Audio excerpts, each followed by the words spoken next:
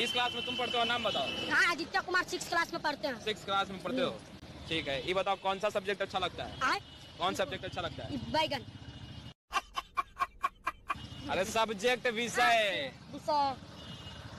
English English अच्छा लगता है। कोई पोयम याद है इंग्लिश का?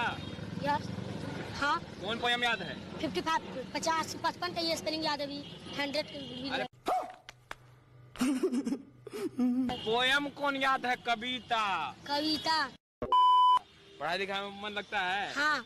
अच्छा देश के प्रधानमंत्री का नाम क्या है? नीतीश कुमार। लालू यादव। लाल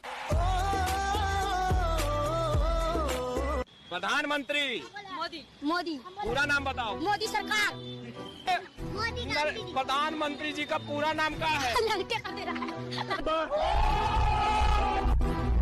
खोटा खोटा बाबन